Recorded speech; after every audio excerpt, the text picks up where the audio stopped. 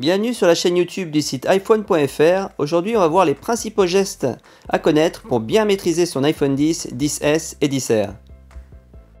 Le premier geste permet de réveiller rapidement et simplement l'écran. Quand il est éteint, vous avez juste à toucher du doigt sur l'écran pour le réveiller.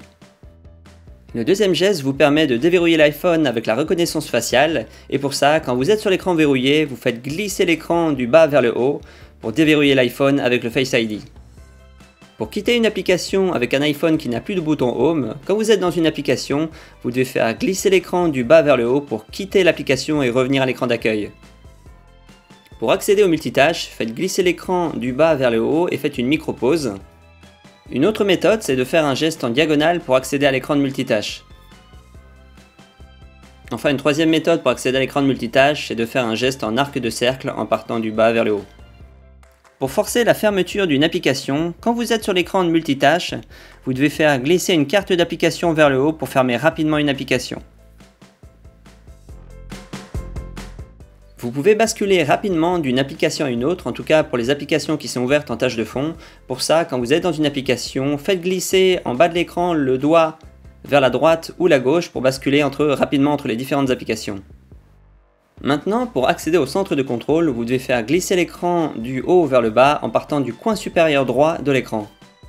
Et pour accéder au centre de notification, vous pouvez faire glisser l'écran du haut vers le bas en partant du milieu ou du coin supérieur gauche de l'écran. Pour pouvoir utiliser plus facilement les nouveaux iPhones à une main, il est recommandé d'utiliser l'accès facile, qui baisse la partie haute de l'écran vers le bas. Et pour effectuer cette manipulation, il faut balayer vers le bas en bas de l'écran pour rendre le haut de celui-ci accessible.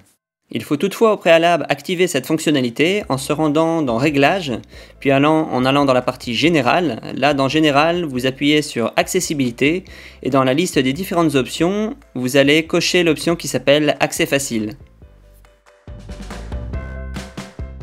Quand vous êtes tout en bas d'une page, que ce soit dans une application ou bien sur une page web, vous pouvez revenir très rapidement en haut de l'écran en appuyant sur le bord supérieur de l'écran qui se situe au niveau des capteurs.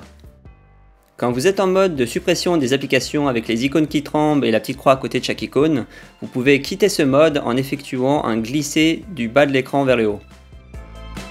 Si vous avez plusieurs pages d'applications, il est possible de revenir très rapidement à la première page en effectuant un glisser du bas vers le haut.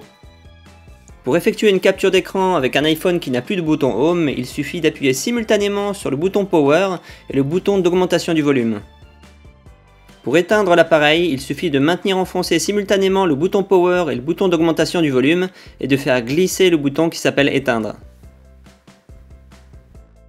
Pour invoquer l'assistant vocal Siri, il suffit de maintenir le bouton Power enfoncé et de demander quelque chose à Siri. Il est possible de lancer l'appareil photo très rapidement depuis l'écran verrouillé en faisant glisser l'écran de la droite vers la gauche. Si vous avez aimé cette vidéo et surtout si vous avez appris quelque chose, n'hésitez pas à nous lâcher un pouce bleu, un petit commentaire et à venir nous rendre visite sur le site iPhone.fr.